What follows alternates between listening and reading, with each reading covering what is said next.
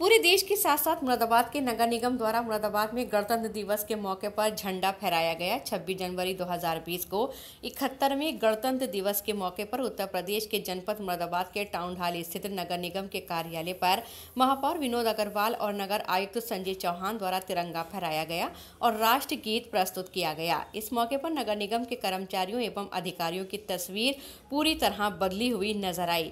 खाकी वर्दी में पुलिस की रेंज की तरह एवं नगर निगम निगम के सफ़ाई कर्मचारी अपनी वर्दी जहाँ नज़र आए तो नगर निगम के जोनल अधिकारी एवं कर्मचारियों को सूट बूट में देखा गया। इस मौके पर मुख्य अतिथि के रूप में महापौर विनोद अग्रवाल ने संविधान की शपथ सभी को दिलाई।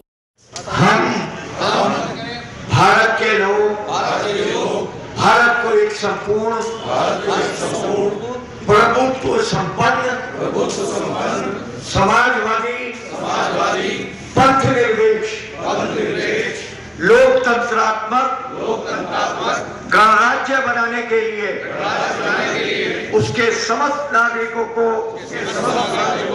सामाजिक, आर्थिक और राजनीतिक न्याय, विचार, अभिव्यक्ति, विश्वास धर्म और उपासना की स्वतंत्रता प्रतिष्ठा और अवसर की समान और अवसर की क्षमता प्राप्त करने के लिए तथा उन सब में व्यक्ति की गरिमा व्यक्ति की गरिमा और राष्ट्र की एकता और और अखंडता और अखंडता सुनिश्चित करने वाली सुनिश्चित करने वाली बंधुता बढ़ाने के लिए बढ़ाने के लिए दृढ़ संकल्प होकर दृढ़ संकल्प होकर मैं मैं निष्ठा पूर्वक निष्ठापूर्वक संकल्प करता हूँ संकल्प करता हूँ देश की देश की आज़ादी देश की आज़ादी तथा अखंडता की रक्षा के लिए। अखंडता की रक्षा करने और राष्ट्र को समृद्ध राष्ट्र को समृद्ध। उन्नत करने उन्नत करने। एवं मज़बूत बनाने एवं मज़बूत बनाने। की दिशा में की दिशा में तन मन से कार्य करूँगा। तन मन से कार्य करूँगा। मैं कभी भी मैं कभी भी हिंसा का प्रयोग हिंसा का प्रयोग न करने का संकल्प करता हूँ। न करने का संकल्प करता हूँ। तथा सभी प्रकार के तथा सभी प्रकार के विवादों का हल विवादों का हल संवैधानिक संवैधानिक उपायों द्वारा उपायों द्वारा किए जाने में किए जाने में विश्वास व्यक्त करता हूँ। विश्वास व्यक्त करता हूँ। जय हिंद। नगर आयुक्त संजय चौहान ने पिछले वर्षों में नगर निगम द्वारा किए गए कार्यों के संबंध में जानकारी देते हुए गणतंत्र दिवस की शुभकामनाएँ प्रस्तुत की। एक है, कोई भेदभाव नहीं है। ये बात बार बार कहनी क्यों पड़ती है। इस बात को कहने की ज़रूरत नहीं पड़ती इस पर विचार करने की ज़रूरत है। हमारे, मैंने पिछले 15 अगस्त के कार्यक्रम में ये कहा था कि महोदय, आपके शहर का बेहतर रिपोर्ट कार्ड इस मंच से हम रखेंगे। कुछ तो बेहतर हुआ है। बहुत होना बाकी है। बहुत बाकी है। अभी बहुत कुछ थोड़ा हुआ है। कुछ चीज़ें मैं यहाँ आप सभी के मध्य फिर भी कहने से अपने आप को रोक नहीं पाता हूँ। आपके शहर मुरादाबाद में इस पूरे मंडल का सबसे ऊँचा राष्ट्रीय ध्वज आज शान से लहरा है।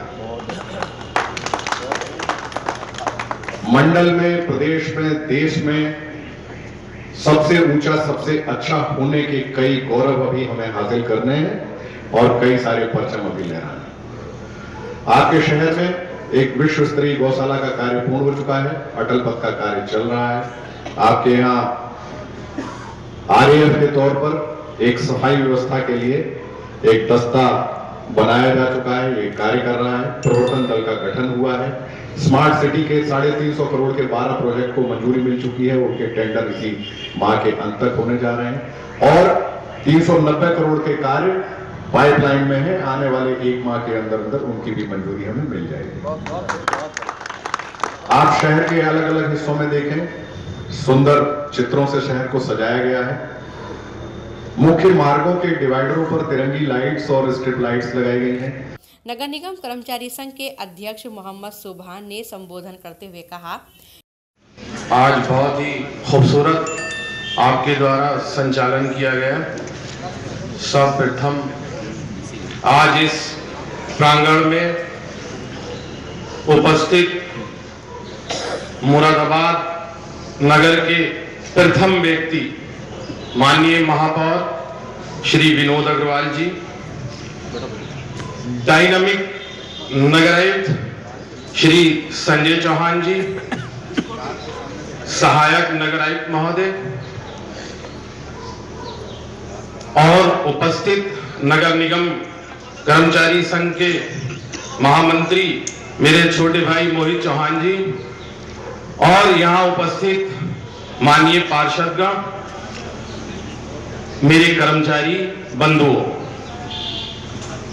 आज इकहत्तरवें गणतंत्र दिवस की मैं आपको हृदय से बधाइयाँ देता हूँ और नगरायुक्त महोदय को आज मैं धन्यवाद कहूँगा कि मेरी 28 साल की सेवा में आज ऐसा लग रहा है जैसे नगर निगम में ये नगर निगम नहीं, ये कैंट एरिया है।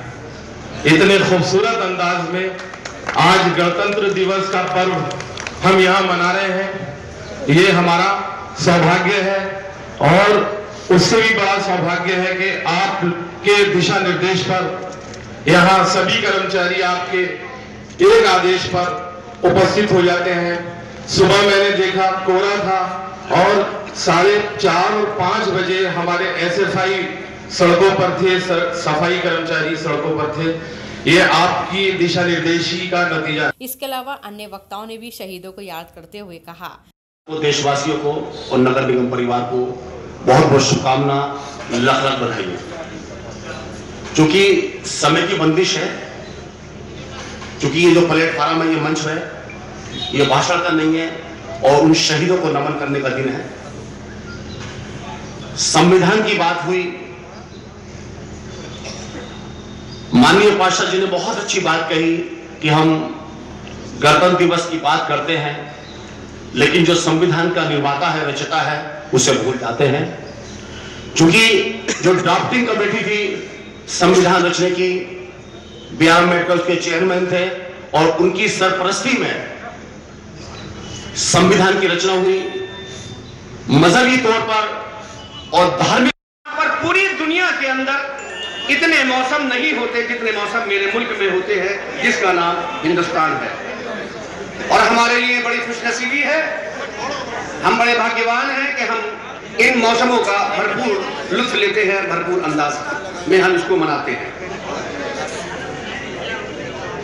सामने रखा।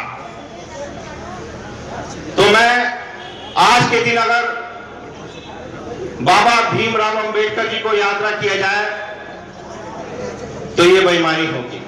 प्रोग्राम का संचालन मोहम्मद अली वारसी ने किया। कार्यक्रम में नगर निगम के कर्मचारी एवं अधिकारी के साथ साथ नगर निगम के पार्षद एवं गणमान्य नागरिक बड़ी तादाद में मौजूद रहे। अंत में नगर निगम के कर्मचारियों को अपने कर्तव्य का पालन और अच्छा कार्य करने पर महापौर एवं नगर आयुक्त द्वारा सम्मानित किया गया।